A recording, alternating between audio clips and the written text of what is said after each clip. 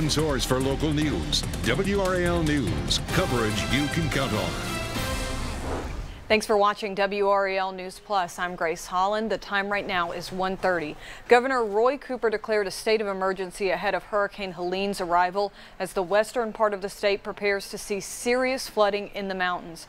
Cooper says more than a foot of rain is expected in some areas. The risk of flash flooding, landslides, debris slides, and slope failures should not be ignored. Take a listen.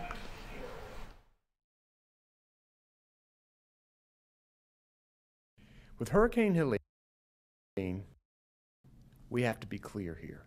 Heavy rains and winds are coming. Beware and prepare. Travel will be dangerous. Flooding is likely, and we are preparing for unexpected conditions. Power outages and tornadoes are also possible. He encourages all North Carolinians to tune into weather alerts today throughout the weekend. River Swift River water rescue crews are also deployed along one, along with 175 soldiers along the North Carolina National Guard urban search and rescue teams. 30 firefighters, rescue and EMS crews from Raleigh, Durham and Chapel Hill left for Waynesville and Haywood County this morning. Governor Cooper says North Carolina's State Emergency Operations Center is in communication with local leaders and emergency management teams. A couple of other headlines we're following. Right now, Wake County school leaders are expected to discuss their concerns with nearly half a billion dollar plan to expand private school vouchers in the state. Superintendent Robert Taylor plans to address how House Bill 10 could impact funding and key services provided to students and families. Governor Cooper vetoed the bill. Republicans are expected to schedule a session to override the veto in November. And tonight, voters in Raleigh will have a chance to question and to have questions answered from candidates running for city council. Current District E Councilwoman Christina Jones and her opponent John Sequeria will introduce themselves. They'll also take questions about their policy.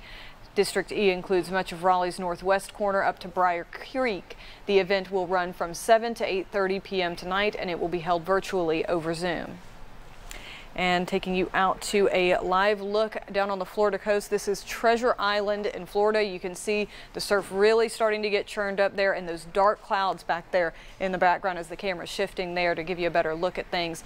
That, of, that system, of course, is heading closer to our area. Meteorologist Anthony Baglione has a first look at today's forecast and the latest track on Helene. Hi everyone, meteorologist Anthony Baglione here on this Thursday where we continue to track, of course, Hurricane Helene in the Gulf of Mexico. It is pushing closer and closer to the panhandle there of Florida. You can see a lot of thunderstorm activity, a lot of convection, we call it, with those deep reds showing up. And so it certainly is on its way to becoming an even stronger storm system as we head into the next couple of hours. Here's a look, though, through the rest of our Thursday at our flooding risk across the state, where Asheville, for instance, is in the highest level that they go. We, for most of our viewing area, are in a low risk. It does bump up to medium west of us, but for the majority of us, this is not going to be a huge rainmaker across our part of the state, but certainly the mountains that continues again into tomorrow. Asheville, for instance, included in a high risk. What we are looking at, and I think perhaps a little bit more importantly for at least our part of the state into the rest of today and tomorrow, is a potential severe risk. Mainly for Friday morning, I do think that potential could include a few isolated tornadoes across the area.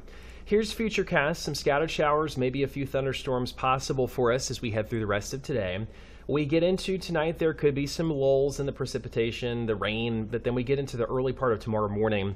Here's 8 o'clock. Some of those storms that you see pushing in that have kind of that curved shape to them back towards Sanford, for instance, that's indicating to me that Futurecast is picking up on some rotation within the atmosphere.